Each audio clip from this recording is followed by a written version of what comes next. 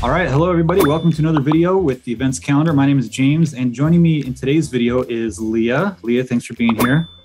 Thank you, James. So, Leah, who are you and what do you do with regards to the events calendar?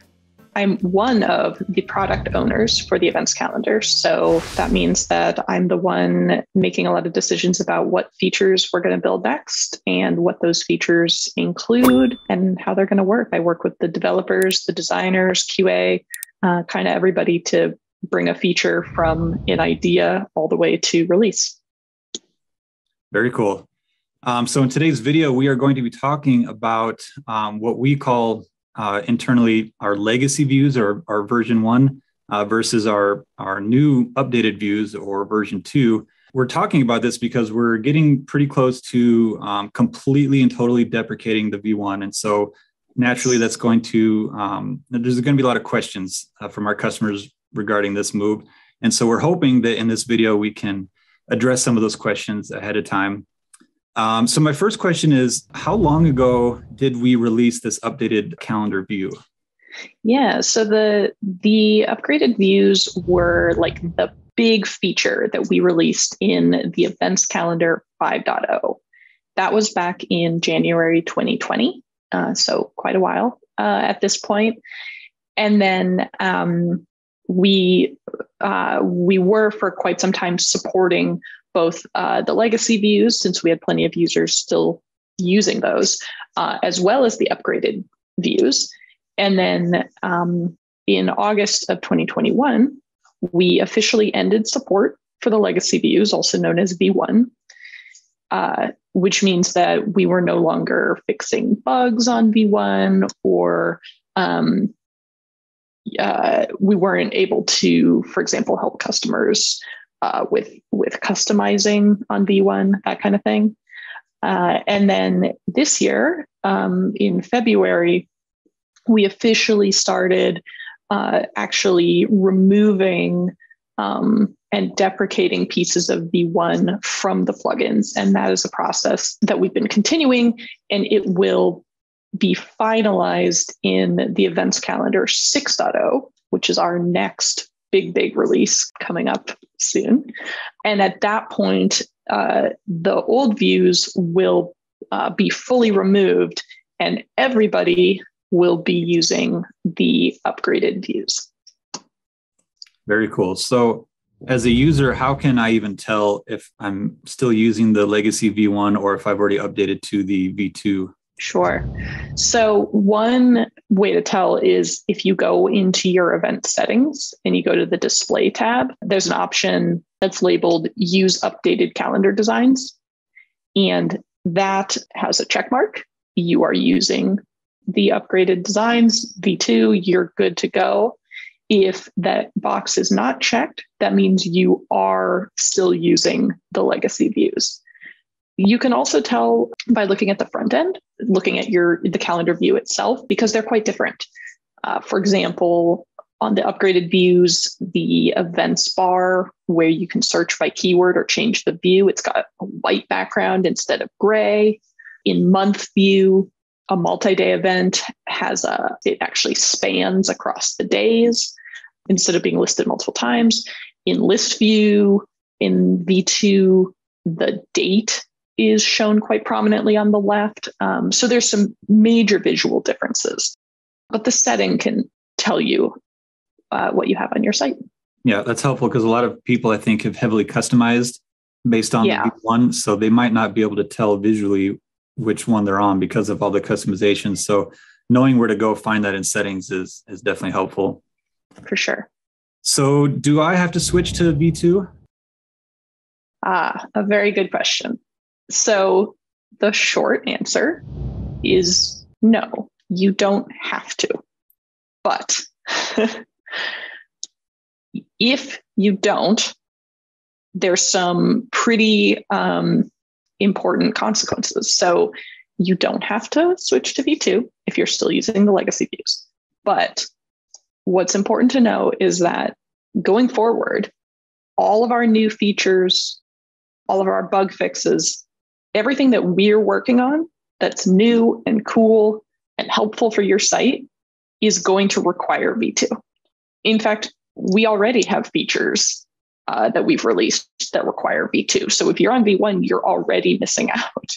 Uh, we have a summary view. We have uh, new subscribed calendar features. And in the in the future, in terms of stuff that uh, is is coming out, if you're still on V1, you'll be missing out on any new views we release. Be missing out on the upcoming uh, recurring events system that's coming out, which includes series and some really cool editing features on recurring events. A lot of flexibility there. Tickets for recurring events. That is something that's on the roadmap. That is something that's going to require V2.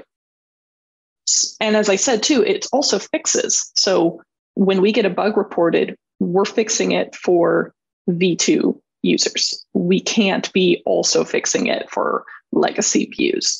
Um, so, yes, technically, if you really want to, you can stay on V1. I highly recommend that you take the time, if you haven't already, to move to V2. It is absolutely the best move for you long term. And we're not able to support you if you stay on V1, which is tough.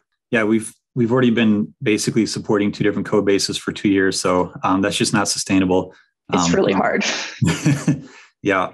Um, so, you know, for most people, it's probably not going to be a big deal. It's a matter of clicking a checkbox. Their calendar is going to look nicer than it did before, and they're going to have access to features. Um, but for some people, like I mentioned earlier, who have done a lot of um, styling customizations based on the V1, obviously, when they click that checkbox, they're basically going to lose all the styling customizations or, or a lot of them that they made. So yeah. they're going to be asking the question, why are you removing uh, V1 legacy views? And I think we alluded to it a little bit already, but maybe you could um, talk a little bit about why exactly we are we're deprecating that completely. Yeah. Well, first I want to touch on one thing you said, you know, folks who have customized a lot will see a more major change. That we we knew that going in. Like we knew that this while this change is really important, we knew that it would be tough for customers who had who had done a lot of customizing. And that is why we committed to having such a long time where we were fully supporting both versions because the idea was that that gives our customers enough time to adjust customizations, to test their site with the new views, to talk to their developer, you know, if you're working with someone or your designer. So we we know that this is tough for folks and we took steps to try to ease that by giving people time. Now we are getting to the point where folks are are you know it's a little closer to crunch time here since we're actually getting ready to fully remove those pieces um, but we we hope that folks have been able to be working on this and if you haven't now it's the time so your question why are we removing these so the legacy views are a decade old. They were a part of very, very early versions of the events calendar. What that means is that the design is is outdated and there were quite a few uh, sort of underlying issues as well issues with navigation performance security code standards and these are things where maybe it's not so obvious when you're just looking at the calendar, you know, it can feel like it's just a visual change. But those underlying issues made it very difficult for us as a team to maintain our plugins and to build on them, to build and improve, you know, to add new features. So part of the point of the new views, besides the awesome visual improvements, thanks to our designers, is the fact that now we have better navigation, better performance, better security, higher standards. And that means it's easier for us to maintain. We can fix bugs faster. Uh, we can not only we can fix bugs faster, we can fix bugs faster and more thoroughly. So it's less likely that some other little problem sneaks through, and we can build on these. So with V2, we can add new views, we can add new features. It's much easier for us to do that. And if it's easier for us as a team to add fixes and features, it's better for our customers. Yeah, yeah, I think it's important to to note that it's not just it's not just a new style.css file. This is um, there's been a lot of improvements behind the scenes with the code, like you said, to improve performance and, and customization. Um, yes. There's more filters and actions and stuff for for the developers out there to really um, customize things. So there's a there's a lot of improvements beyond just it looks prettier than it did before. Yeah, yeah, for sure. So speaking of customizing, um, and, and this could be a whole two hour long video on its own, but um, you know, sort of briefly, how can I customize my V2 calendar? Once I click that checkbox and upgrade to the new views, what are my options for customizing? Well, uh, as you just hinted at, um, V2 has tons of customizing options, uh, hooks, filters, templates, all sorts of goodies.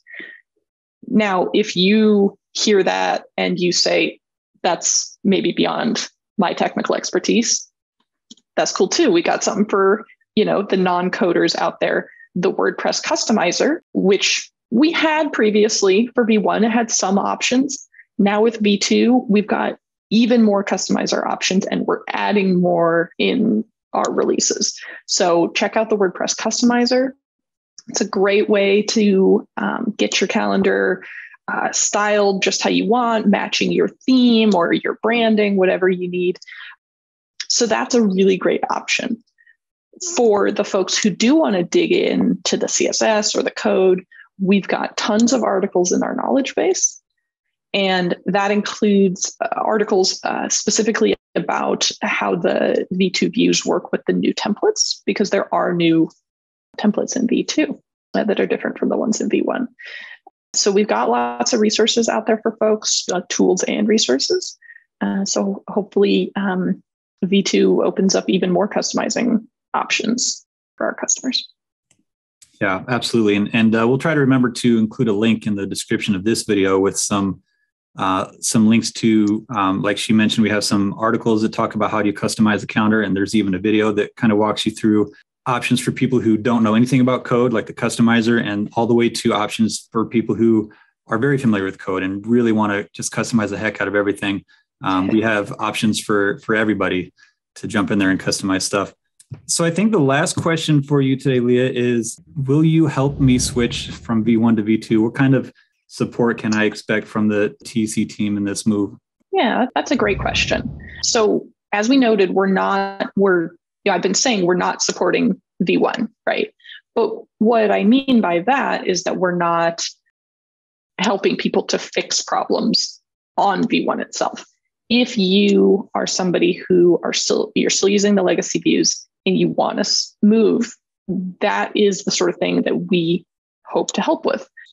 That said, we have hundreds of thousands of users. Unfortunately, we can't help everyone one on one. And that is part of why we have worked really hard to put a ton of resources in the knowledge base so that people can find answers for themselves, um, you know, get help. Uh, we have an article all about testing your site with V2. That'd be another great one to link, James. Um, so we worked hard to put out those resources so that those would be available to anyone. Also, if you're one of our premium users with a license to one of our paid plugins, you can, of course, contact us through our support help desk, and we will do our best within our available scope of support to help you make that transition from V1 to V2. You know, since V2 has been available for quite some time now, we've already been helping people, folks who, you know, moved over right away or in the last few months have been working on making this change. Um, and our support team um, has been doing a really great job. And they're here and ready to help if you are uh, ready to make that transition. Absolutely. and on that note, if you're watching this video and you switch to V2 and um, you know you notice we have a lot of snippets that have gone out into the the world, and we have some extensions that we've developed. And if you come across a snippet that was provided to you from one of us or or an extension that suddenly stopped working when you switch to V2, uh, let us know. Um, we we can't promise an immediate turnaround on those things, but those are things that we're trying to identify and and fix um, so that those snippets will work uh, for V2 because a lot of those were written before V2 even existed. And so they're just definitely not going to work. So let us know anything that, that we've provided you in the past that suddenly doesn't work now that you've clicked that checkbox. Let us know and, and uh, we'll take a look at that. So Leah, this was awesome. I, I, thank you so much for joining me today to, to make this video. I'm sure the, the watchers will appreciate it as well. And uh, for those watching, thanks for, for tuning in and we look forward to seeing you in the next video. Fantastic. Thank you, everyone.